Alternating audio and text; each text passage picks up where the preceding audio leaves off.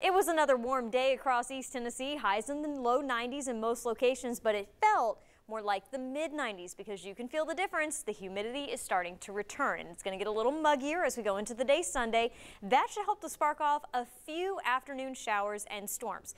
Not saying everybody's going to see that rain, but a few folks may need to pay attention to the sky if they're going to be doing anything outside during the back half of the day with those pop-up showers and a few rumbles of thunder.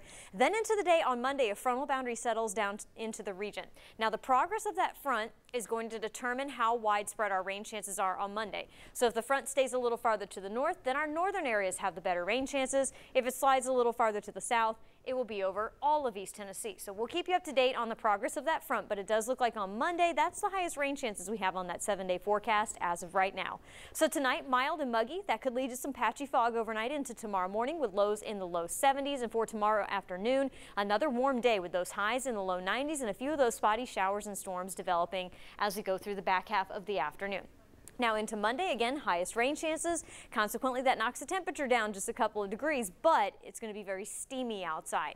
We'll have some lingering showers and storms, probably mostly for the southern half of our viewing area on Tuesday. And as the skies clear out, there's the result. You get those highs back into the low to mid 90s, some of the warmest temperatures we've had so far this year on Wednesday and Thursday, feeling like the upper 90s. So keep that in mind if you have any outdoor plans on Wednesday and Thursday. And then another system moves in that hopefully will bring us some more rain chances for Friday and into next weekend.